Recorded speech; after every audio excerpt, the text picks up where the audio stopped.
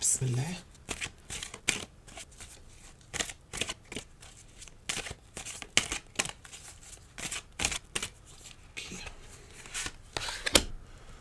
Six of Pentacles. عندك سخاء عاطفي الفترة دي وفي نفس الوقت عندك نوع من الموازنة. يعني إيه سخاء عاطفي؟ يعني هتقدر تعبر عن مشاعرك لحبيبك أو حبيبتك. هتقدر آه تكون سخي في العواطف تقابلهم كتير تتكلم كتير تراسلهم. واضح إن في سخاء عاطفي. السخاء العاطفي جاي لك مع الموازنة يعني إيه؟ يعني أنت هتكون مهتم بحبيبك أو حبيبتك. في نفس الوقت مهتم بنفسك في نفس الوقت مهتم بحياتك الاجتماعية والعملية. عندك توازن كبير جدا جدا الفترة دي وفي مصلحتك. أوكي. أول حاجة خلينا ناخد كارتين من الكروت دي هنفتحها في الآخر خالص. أوكي.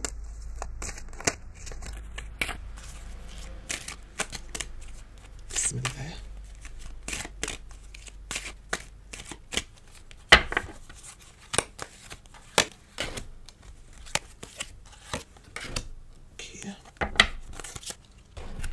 وهناخد كارتين من الانجل كاردز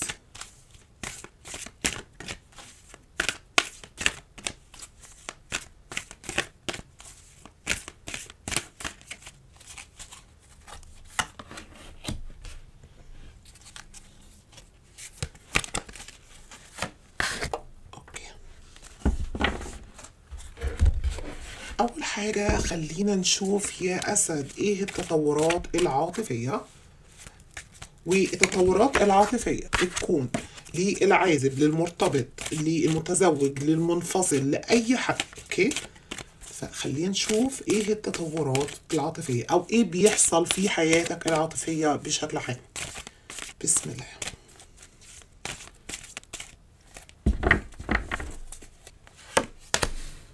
ماشي. أسد The Empress مرتبط بالطاقة العامة و The World وهنا Nine of Wand okay.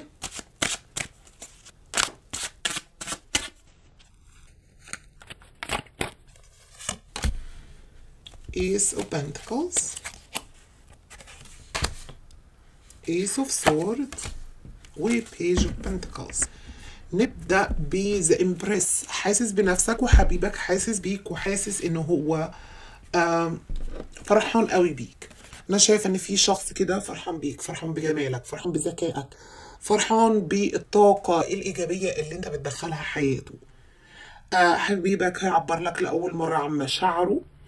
آه شخص ما معجب بيك ماشي لو أنت مش في علاقة عاطفية.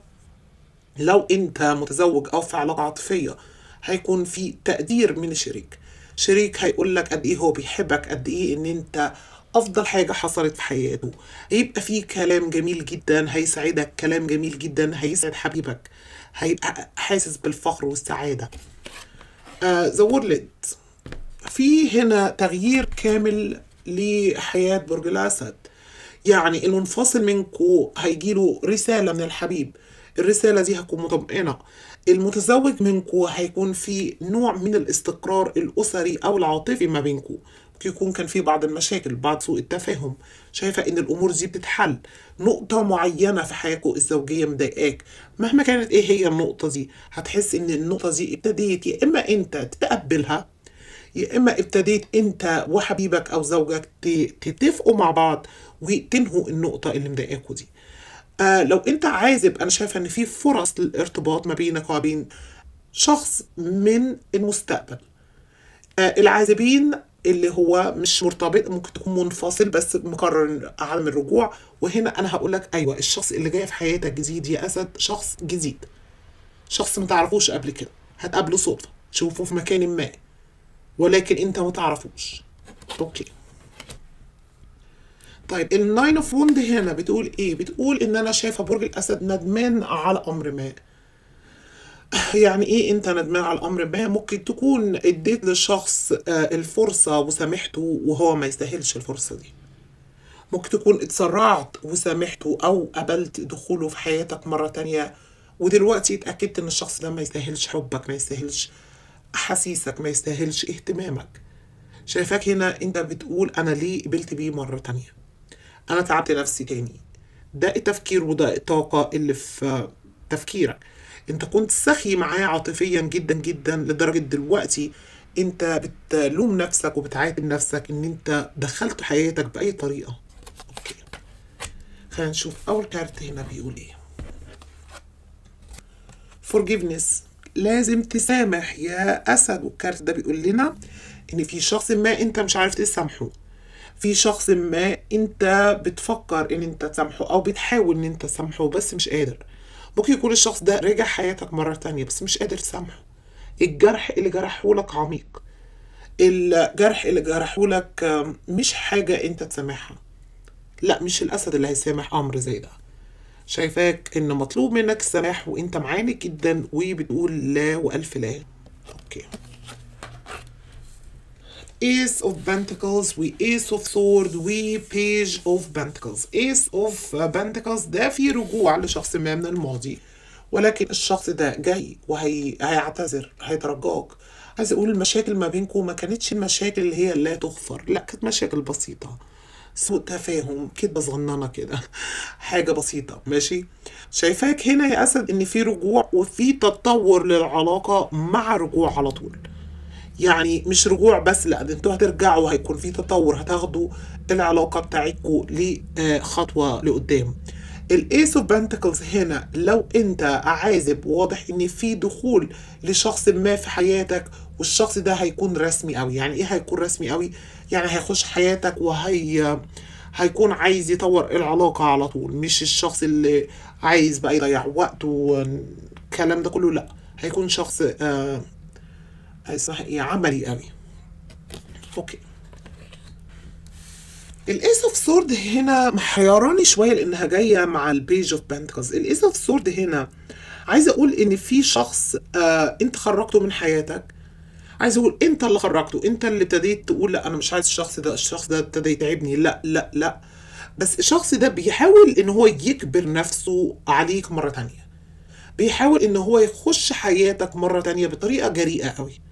بطريقة حتى أنت بتقول هو إيه اللي بيحصل ده؟ هو يعني متجرأ قوي. آه عايز أقول أنت هتحاول تبعد عنه هتحاول إن أنت تتجاهله على قد ما تقدر لأن أنت حاسس إن تصرفات الشخص ده فظة جدا.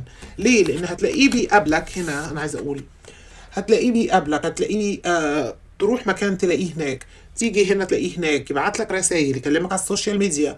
ممكن يكلمك على صفحتك الرئيسية في السوشيال ميديا ابتدى يزعجك. ممكن ده الشخص اللي انت مش عايز تسامحه. ممكن ده شخص انت مش يعني آه، العلاقة العاطفية بتاعتكم مش مأثرة فيك انت مش عايزه نهائي. الشخص ده هيكون كده مضايقك شوية الفترة دي ولكن هتقدر عليه طبعا يا أسد. ماشي خلينا نشوف تاني كارت بيقول إيه. opportunity فرص فرص فرص وفرص من ذهب. فرص من ذهب إن أنت ترجع لحبيبك لو أنت منفصل. فرص من ذهب إن أنت تطور العلاقة العاطفية اللي أنت فيها يكون خطوبة زواج ترسيم علاقة. فرص ذهبية للعازبين والعازبات إن هم يلاقوا شخص مميز في حياتهم شخص آه ترغبون فيه شخص هو عنده رغبة ليكوا في مشاعر حب آه ما بينكوا كده متساوية. أوكي. خلينا نكمل ونشوف في إيه تاني جاي في حياة برج الأسد عاطفيا يلا يا أسد بسم الله.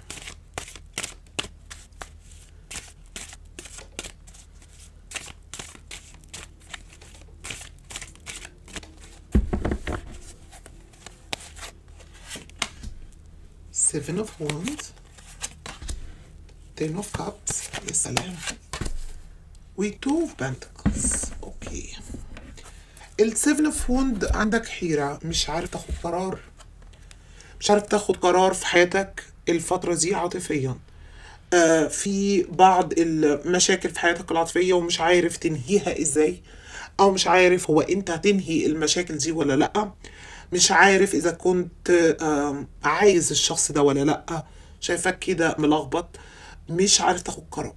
والوقت اللي بتيجي بقى كده يا أسد وتبقى مش عارف تاخد قرار ما تاخدش قرار. مفيش حاجة تغصبك وقف نفسك لغاية لما تحس إن أنت دلوقتي جاهز إن أنت تاخد قرار أو جاهز إن أنت تتخلص من الشخص ده أو تبعد عنه. أول ما تحس إن أنت أنا مش عارف أعمل إيه ما تعملش حاجة. تقف ساكت خالص لغاية بعد كده يوم أو يومين وهتلاقي إن الأفكار الجيدة اللي في مصلحتك جاتلك من غير ما أنت ما تدور عليها. وال Ten of Cups هنا نقول في زواج استقرار ترسيم علاقة آه لقاء شخص جديد آه لم شمل المنفصلين آه هنا ال Ten of Cups ده أكبر آه مركز في العلاقات العاطفية اللي هو ترسيم علاقة مصالحة رد. آه عايزة أقول آه ترسيم للعلاقة لقاء بعد آه يعني بعد بعد طويل مسامحة شخص منكم هيسامح التاني وهيكون بداية لعلاقة عاطفية قوية جدا ما بينكم طيب ال Two of Pentacles هنا شايفك محتار ما بين أمرين. مثلا عندك وظيفة في حتة بعيدة وحبيبك في حتة هنا وإنت مش عارف تختار إزاي. آه الحيرة دي مخلياك مش عارف تستقر في حياتك العاطفية أو العملية. إنت ما بين آه نارين. لكن ما تقلقش في ما بين نارين هنا لأن أنت عندك ابيوتينيتي عندك فرص. يعني إيه؟ يعني القرار اللي انت هتاخده تأكد هنا إن هو الأفضل ليك. أنا ما بقولش على الحيرة اللي هنا دي دي حياتك العاطفية. لأ هنا ده حياتك العاطفية معترضة مع جزء من حياتك العملية. انت هتعرف إزاي تقسم كل واحدة. ماشي يلا نشوف إيه كارتين. كارت ده بيقول لك destination horizon في بعد ما بينك وما بين حبيبك. البعد ده يا إما عاطفيا يا إما بالمسافات. يا إما بعد فكري. بس هنا واضح إن البعد ده هيوصل لنهايه يعني الأحاسيس اللي كانت ما بينكو الذكريات اللي كانت ما بينكو كل الكلام ده ماشي؟ آه واضح إن هيكون في ما بينكو لقاء بإذن الله هيكون في ما بينكم سعادة بإذن الله. طيب هنا إيه بقى؟ هنا expectation واضح إن الشيء المنتظر ما بينك وما بين حبيبك. منتظرين أمر ما. منتظرين إن هو ياخد خطوة رسمية. منتظرين إن هو آه آه يتواصل معاك. إن هو يجي يتقدم. إن هو يقول لك آه قد إيه أنت وحشه اللي أنت منتظر منه واللي أنت بتفكر فيه وبتقول إمتى بقى هيقولها. واضح إن الفترة دي هيكون هو الوقت بتاع إمتى بقى هيقولها بإذن الله يا أسد. شكرا لبرج الأسد.